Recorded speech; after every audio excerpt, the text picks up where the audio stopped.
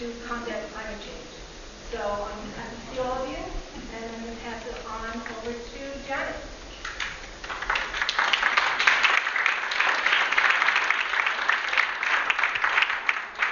Good evening, everyone. I'm so glad to see so many people came out tonight for this important Green Living series.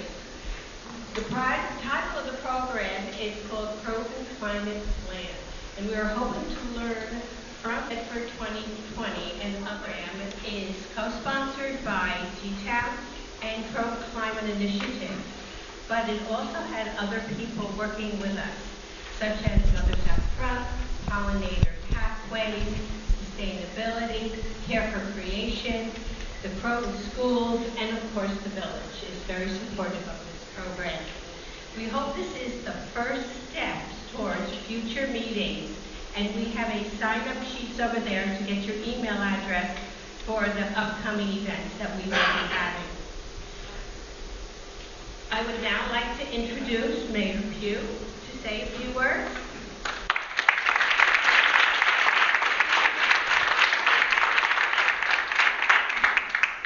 Well, I think the point that uh, we're trying to combine the ripples of action on climate change into a tidal wave of action is important. Um, Sometimes we, people think that we're out here very alone in the. That's not true. We're part of a much larger movement. And uh, Bedford is an important piece of that. Uh, We've been working, uh, you know, across the county through Sustainable Westchester. and Bedford's been a leader on climate change. Um, And we're looking to them for ideas about where we can go from here. Um, The village has taken uh, aggressive steps on climate change already. Uh, You can look at the 10 years of action on climate change from uh, Bergen Sustainability Committee, uh, as well as uh, installed an electric vehicle charging station at the municipal buildings and to be joined by one at the train station. Uh, We added the first electric vehicle to our municipal fleet, uh, soon to be joined by a hybrid uh, police car, thanks to a grant from Senator Peter Harckham. And uh,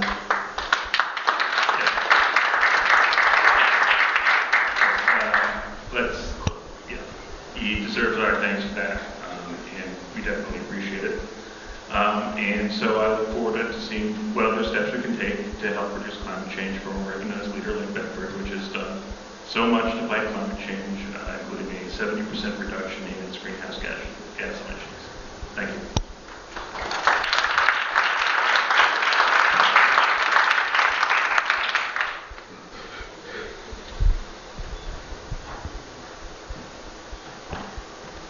Our first speaker tonight is Dr. Chandu Visweswariah. I'm sorry if I said the name wrong. Is the CEO of Utopus Insights, which develops software to accelerate the global transformation to renewable energy. Prior to co-founding Utopus Insights, Chandu led the worldwide Smarter Energy and Environmental Science team at IBM Research. He was named an IBM Fellow, IBM's highest technical honor in 2013. He has over 100 publications and 102 granted patents to his name. And he and his wife Patty live in a zero carbon home with solar panels, heat pumps, and plug-in hybrid in Croton.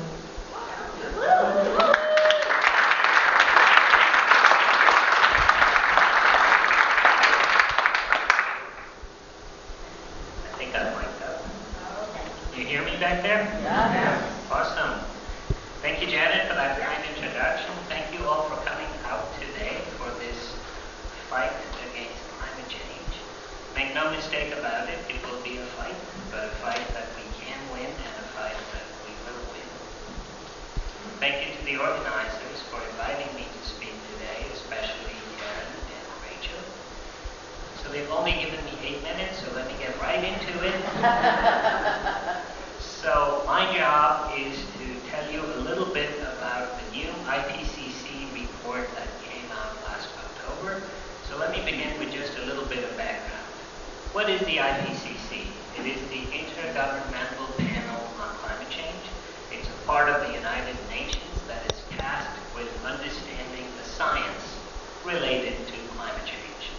They released a new report last October, and I will try to summarize this for you in the next six and a half minutes.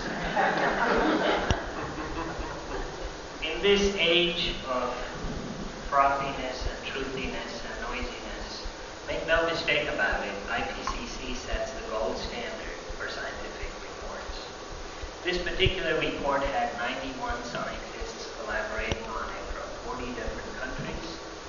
There were 6,000 cited references, 42,000 reviews, and there was a recent New York Times piece on how rigorous it is and how difficult it is to even get one little phrase into the final report.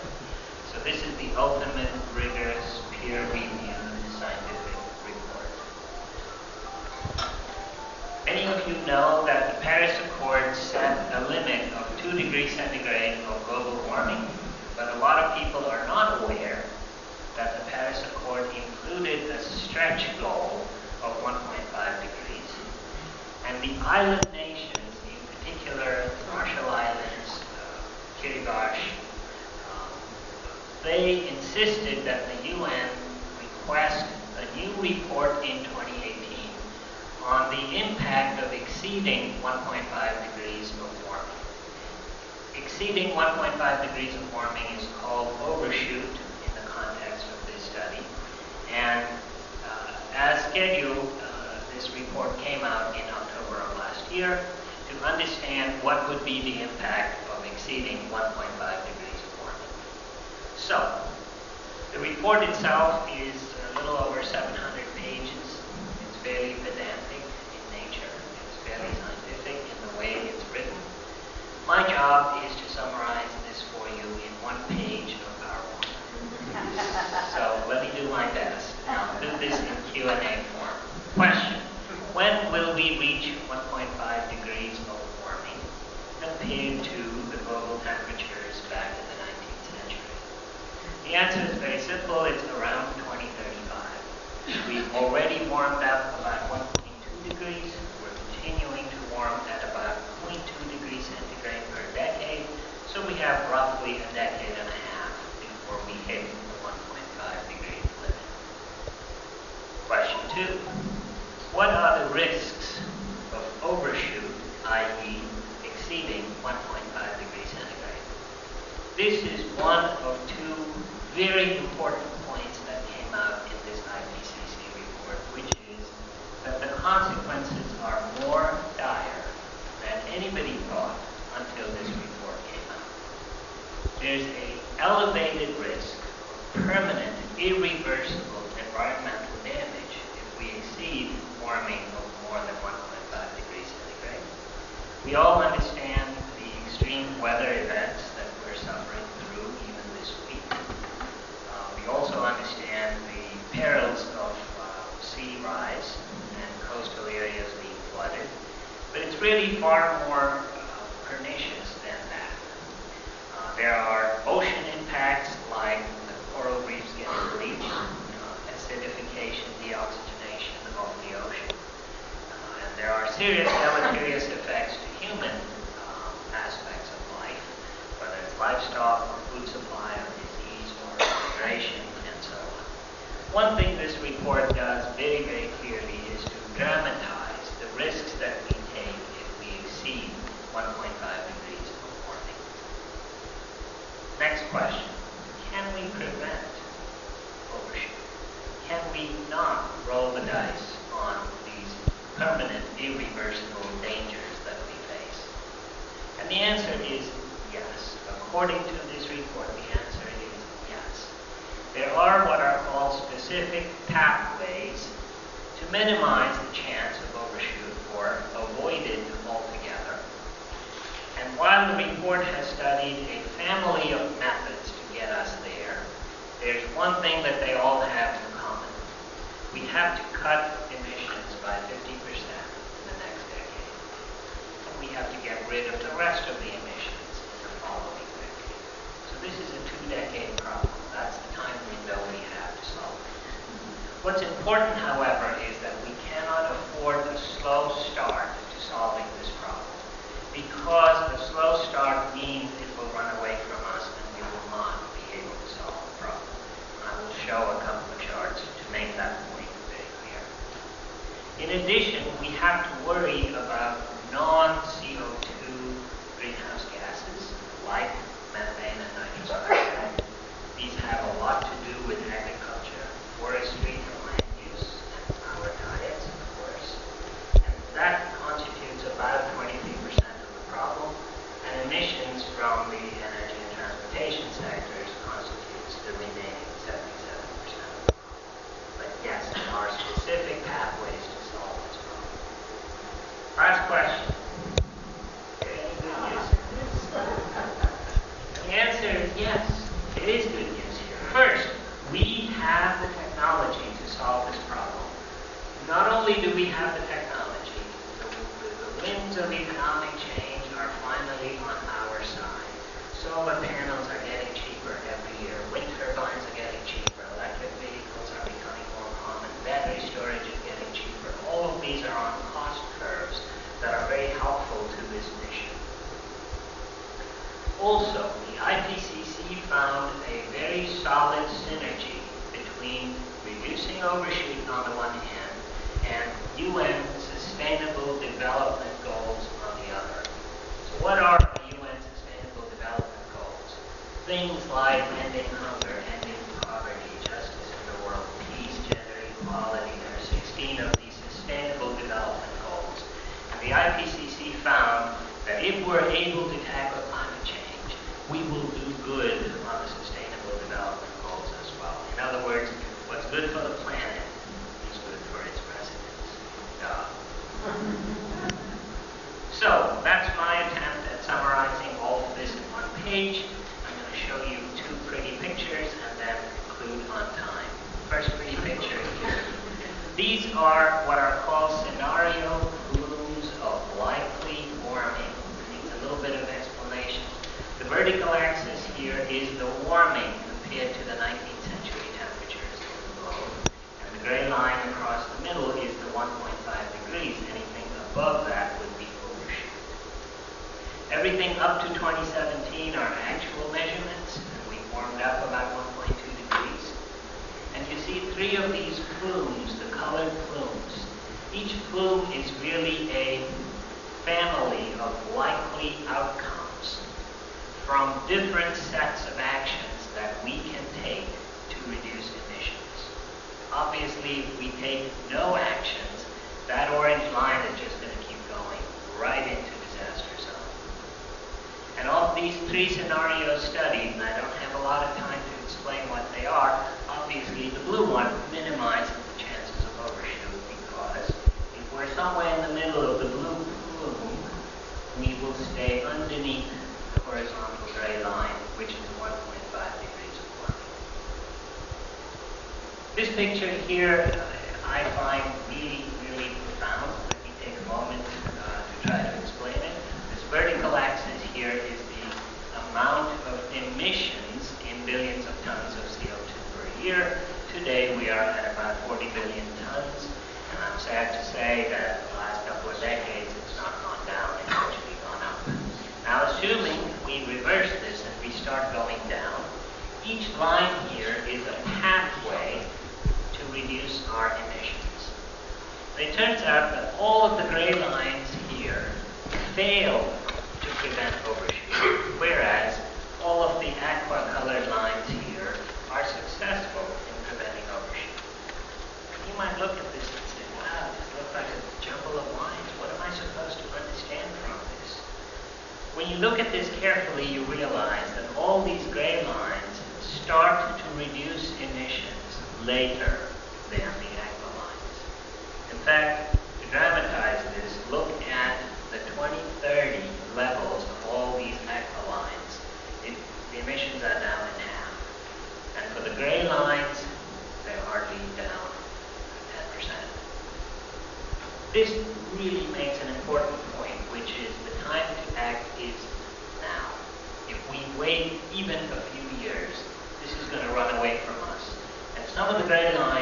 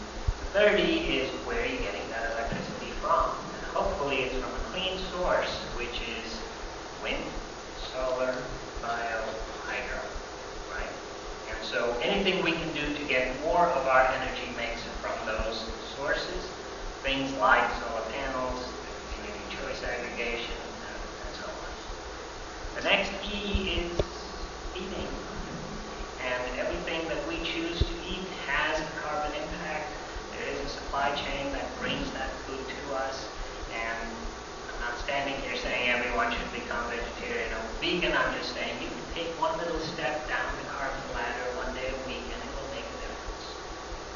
And finally, education. We need to educate each other. We need to be well informed. And we need to influence uh, each other, our neighbors, our politicians, our regulators, uh, in order to make this progress. And I'm very eager to see what this evening produces. I don't want to be prescriptive. I would love to see a two-decade plan for the village of Croton to get to zero emissions by 2040 with an accounting system for each of these and points that everybody gets. I don't know, streets compete with each other, neighbors compete with each other. We all have an app where we measure our progress against this goal. Wouldn't that be fun? This is the part of the talk where you tomatoes at me because I'm going to make a really bad pun. We will prevail with ease. when it comes to the environment, there is no tomorrow. We need to act today. Thank you.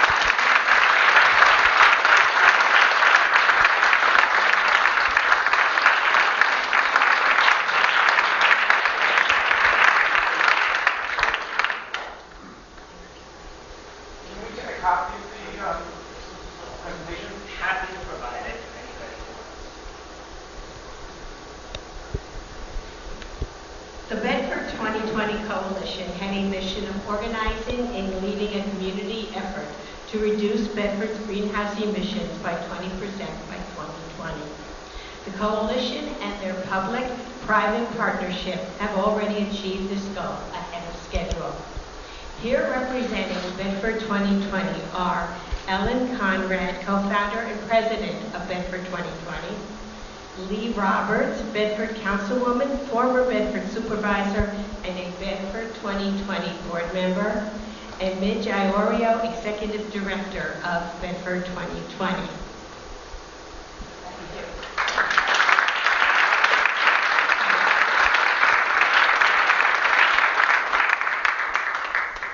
Thank you for your presentation. That was very inspiring. And our supervisor, Brian Kuhn, is he still here? Uh, There he is. Uh, Congratulations to all of you for having elected him. He is a great leader for this place. I'm going to give you a bird's eye view of Bedford 2020 uh, from 2010 to today. Uh, And Midge and, well, Midge is going to give a lot of the details, and Lee, Lee and Midge and I are all here to answer questions. Um, The first, first goal we had was to create a community of advocates. Uh, Lee was supervisor at the time, and she is the one who led us in this uh, search and in this understanding that you can't do anything until you create your community of advocates.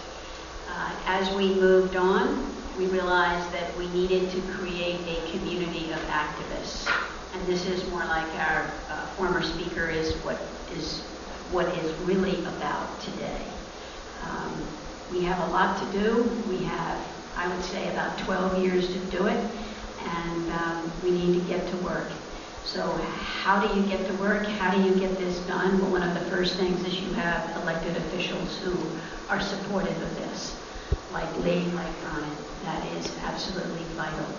Um, The next sort of problem that Bedford 2020 is struggling with today um, is how do you um, decide between the projects that are really big, like community choice aggregation, and hopefully the ability to fold community solar into community choice aggregation, um, as opposed to something where you sit with a group of people and you talk about food and forests, uh, and you try to get people educated and excited about it, but you're not going to be able to leave that meeting and say, yeah, we reduced greenhouse gas emissions by X amount because of this meeting.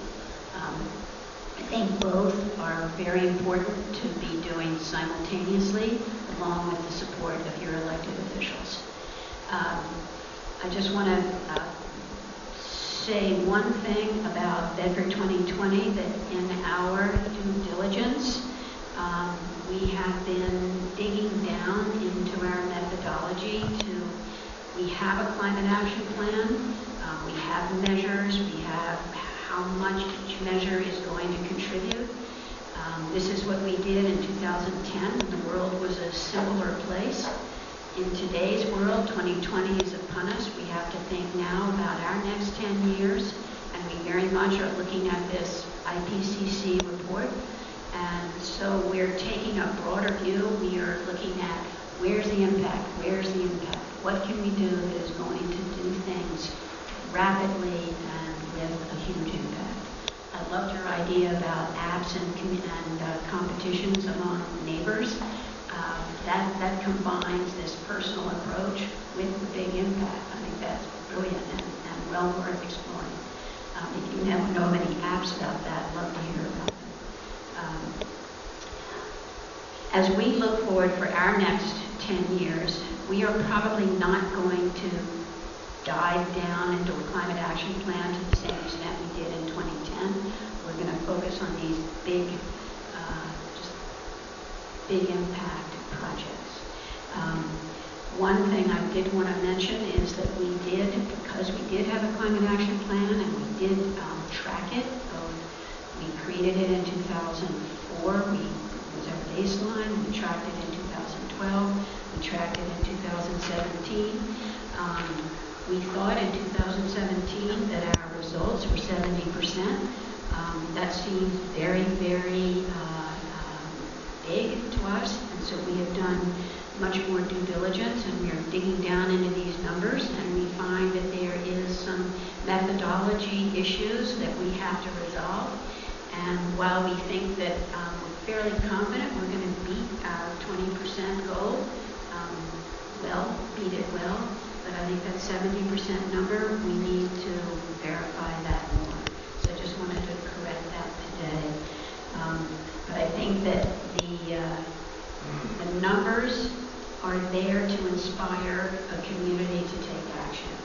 Their tracking is there to point out what are the most effective things you can do, and are you, how you doing in those areas? That is something that is important, no matter how you create your climate action plan or how you create your goals, or quite frankly, how you measure your goals. To have those goals and to have people inspired to act according to them is a very important part of this process. So without further ado, I'd love to bring up Midge to talk about the goals and the actual programs. Thank you.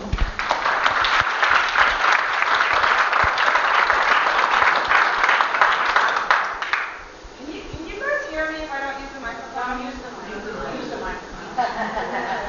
Well, I guess, okay, I'll use the microphone.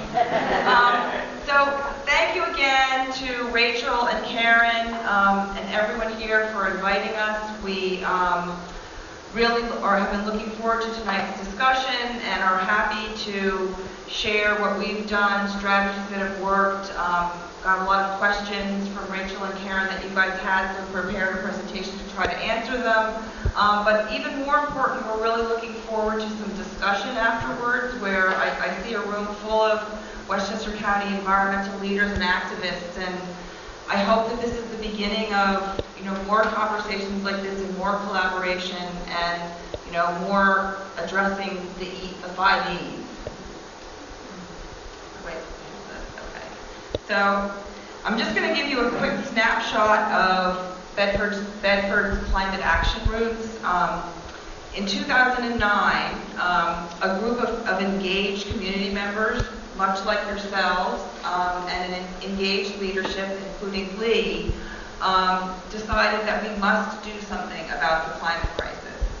And they hosted a gigantic summit, and over a thousand people came, and um, our community then worked together and drafted, I think, what might have been the first climate action plan in all of Westchester, set a goal, as Ellen mentioned, to reduce greenhouse gas emissions 20% by 2020, and set forth to do that. And as Ellen mentioned, what was critically important was that at that time, the town leaders and the climate activists knew that in order to make this happen, in order to engage the community, we needed to create a community of advocates and engage the entire community. And at that time, Bedford 2020 was formed to work in partnership with the town leaders, with the community, to drive climate action. Fast forward today, um, Bedford 2020 works with a network of um, private and public partners on a range of projects to, to advance our goal of reducing greenhouse gas emissions and promoting sustainable behavior that conserves our natural resources. Um, there were a lot of questions about how we organized, and so we're organized around the action areas in our climate action plan, energy, food, waste recycling, transportation, water and land use. Um, and we also um, organized ourselves around engaging the entire community and going out and connecting with our local businesses, with our civic leaders, with our houses of worship, and with our schools, and very deliberately bringing leaders and people who are interested from all sectors of the community into our movement. How are we organized? We are an organization of dedicated volunteers and experts. Ellen is a volunteer. She has been doing this for 10 years, and I'm the paid employee, but she works harder than me. This is a passion. Um, and we have volunteers who are on our board. We have volunteers who are experts in areas of energy and waste, et cetera, in our community who help us develop projects and campaigns. Um, and we have volunteers who help us do just about everything that we do. Um, we do have two paid staff, two full-time staff members, and we fundraise um, in order to have that. Um, and then we also have, um, as Ellen mentioned, a private, a public-private partnership between Bedford 2020 and the town. And what's really effective about that is we work in partnership with the town. We are working together to achieve shared goals.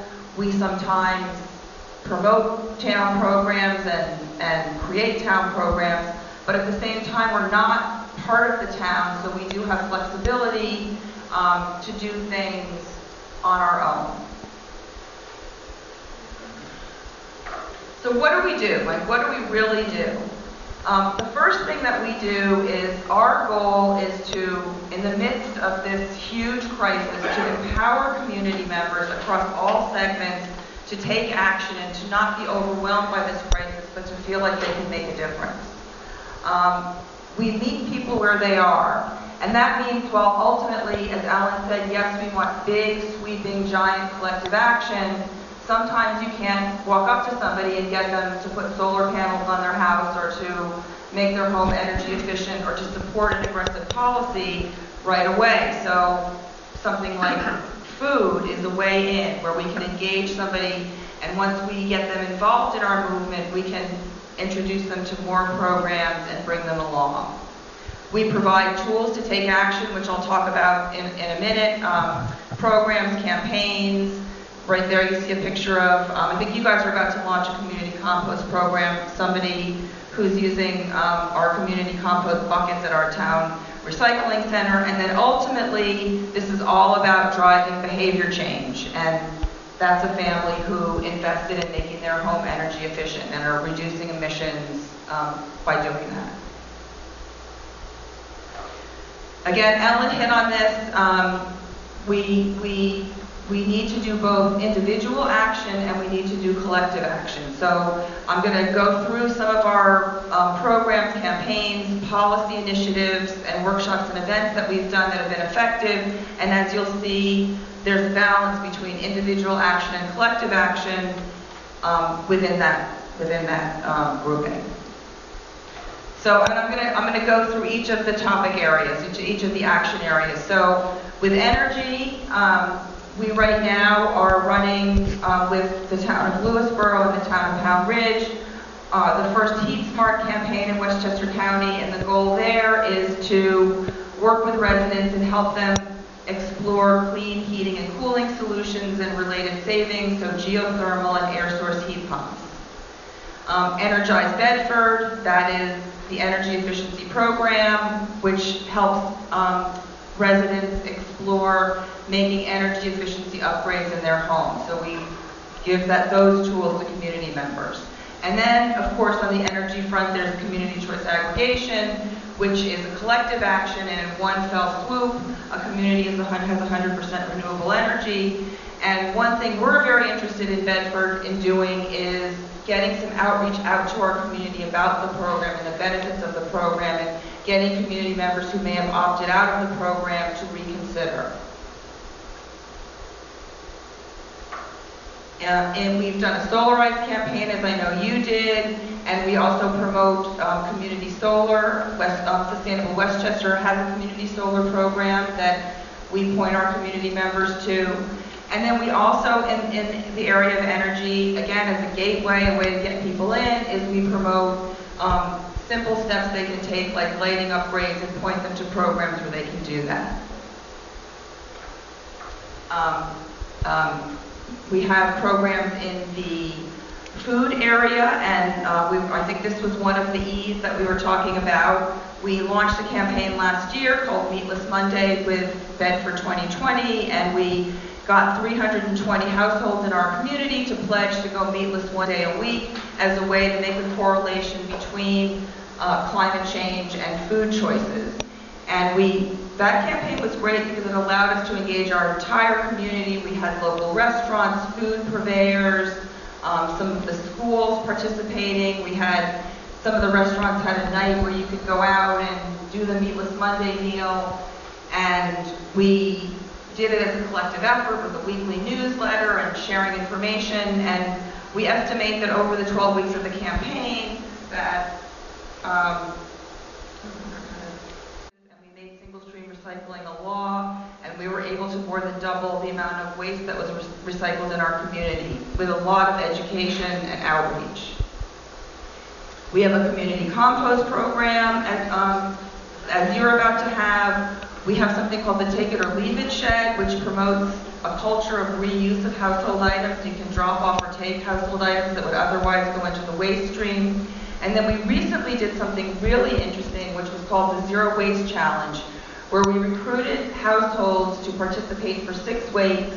We gave them little like kind of fish scales, and we had them weigh their waste, recycling, and compost on a weekly basis and report back. And what was really fascinating was that they, we also got lots of comments from them, and everybody across the board, that awareness of what they're putting in their trash and the amount of what they're putting in, and composting is good, but oh my God, do I need to throw out this much food? That tactic of really making people look at what they're doing is, is really effective in driving behavior change. Electric vehicles, we actually hosted a car show several years back, um, New York State's first fuel efficient car show. Um, we direct community members to um, information on our website and the Sustainable Westchester website about electric vehicles and local dealerships and local deals that are available. And um, like your community, our community has installed um, charging stations and is converting its fleet um, to, to more electric vehicles. Also, we promote um, alternative forms of transport. Another, another um, way to engage people is to actually tell people how they can take action in their backyards and um, advocate for public spaces, to promote biodiversity, to promote healthy yard practices, to, um, to promote clean water. So we have lots of information and events um, about planting native, about not using electric equipment, about taking the Great Healthy Yard Pledge and pledging to not put pesticides or chemicals on your lawn. And then finally, we have a program called the Green Light Award. Um, I know there's some people from T-Town here who are going to, um, it's in its fifth year, we're about to launch the competition, and it is all about youth engagement, and it's a program that empowers high school students in Westchester County to become climate action leaders. It's, um, we, I think we've had 10 high schools across the county and hundreds of children, or students, amazing students, participate, and they, it's a several month process. They come up with ideas. We connect them with um, experts that can support their ideas. We help them develop the ideas. There's a first round where um, finalists are selected, given seed funding, and then there's a final presentation where students present, you know, what they've done, how they've changed behavior, what their innovation is, and they are so impressive and so inspiring, and they inspire each other, they inspire their schools, communities, and they inspire our overall community. So um, I don't know how many municipalities are here tonight, but if you're interested in being in this year's Greenlight Award, we would love to help you uh, reach out to your schools and get that going. It's really a, a really inspiring program. So Ellen hit on this a little bit, so I'm just going to talk a little bit about you know, sort of our big strategies, and one of them is communicate and celebrate. And really what we're doing at Bedford 2020 is creating a culture of sustainability, which ultimately creates a culture of behavior change. So communications are so, so, so important. Um, we, we have had a lot of success having a branding and a look and feel that's consistent. Um, what you're seeing here in this picture is for the Energize program, we periodically have a meeting in our town hall where we recognize and honor community members who have energized our home. So we are constantly going out in our community and recognizing people for what they're doing, promoting neighbor to neighbor, um, promotion of what, what people are doing. Um, we have a newsletter, we have a website, and we're, we're trying to reach people in as many ways as possible, through our Facebook, our Instagram, through community events, um, et cetera. And then, as we were discussing, you know, measure and report is really important. Set goals that will inspire the community, measure those goals, and, and share your progress with your community and celebrate your progress with your community. We actually um, issue an annual progress report and report on, on all of our programs. So this is my last slide, and I was asked to make a list of, of our successful strategies. So um, I think we've hit on most of these. Set goals, measure, report progress, a strong relationship, public-private partnership between climate activists and your leaders, which it seems like you guys already have.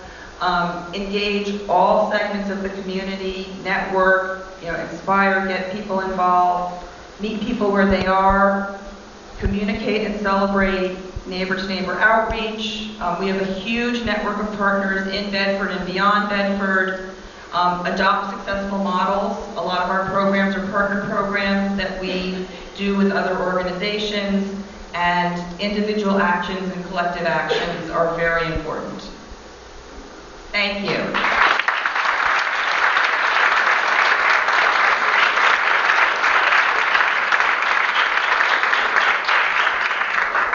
I just point out something real quick?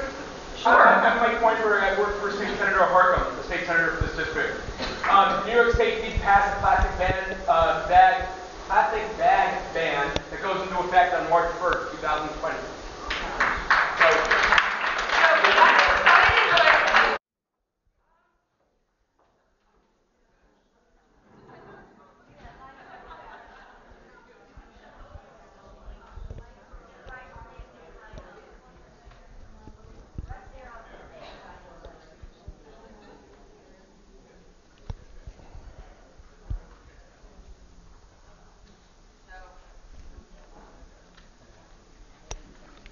Looks like this gentleman has a question. Who hosts your website? Is it the town or is it your website? It's our website. It's our own WordPress website. Pay But, for that with the money you raise by, yeah, I mean, our, there's not a big expense for our website. I mean, we, we, we work with someone to design it, but, um, we, we do a lot of it ourselves. is that one of the things you started with at the beginning? Yeah, yeah, absolutely, yeah. And I, I will mention, on- if you've seen our website, um, it, it sort of gives you a roadmap of all that I just discussed, and one of the things that we have the goal, because then we're gonna, in twenty twenty, um, you know, evolve it and revamp it, and we wanna make it, you know, even more of, um, an action device. So if someone goes onto that website, it's all about, you know, what you can do. So maybe even like a do-it-yourself meatless Monday, or how to advocate for a policy. Um, Does one of your staff maintain that website? Or all Yes. volunteers? Our staff.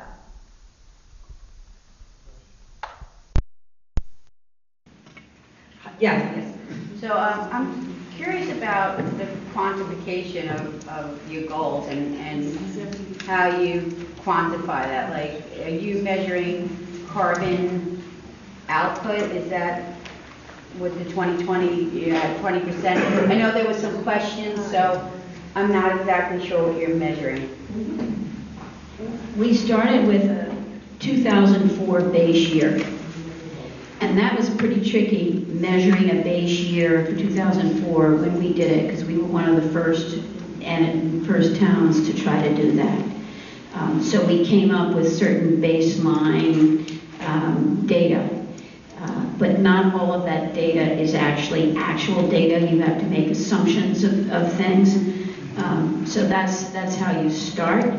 And then as time goes on, um, that data becomes more available. So at the beginning, for example, we would try to get Con Ed data, and Con Ed would say, huh, what? What do you want the data for? Yeah. You know, we've never done that before. Um, Now it, it comes along much more easily. Um, But in our, in our personal evaluation, most recently, um, we have had to sort out every single uh, potential factor and then go back and say, okay, was this done correctly or did it, were the assumptions incorrect for 2017 as opposed to 2004? And that's what we're trying to revamp right now because we think that there were some assumptions there that were not correct for 2017. Um, So we're doing that now, and probably within two or three weeks, we'll come up with something that we think is, is really dead on. A clarification first, and then a question. Your 20% reduction, is that the Bedford municipal government, or is that the entire community? That's the entire community. Question, um, at least from where we sit, Bedford is a pretty wealthy community. Uh, To have affluent people, well-educated people. In your dealings with bringing community people in, have you found that you're successful across all the economic levels? Or is this pretty much focused at the top? I think we've been successful across all economic levels, and especially with the children. I think that they are so in line with this climate change, and they encourage their parents. And this Green Light program has really ramped that up too, because they're in competitions and they come up with great ideas. But we've also tried to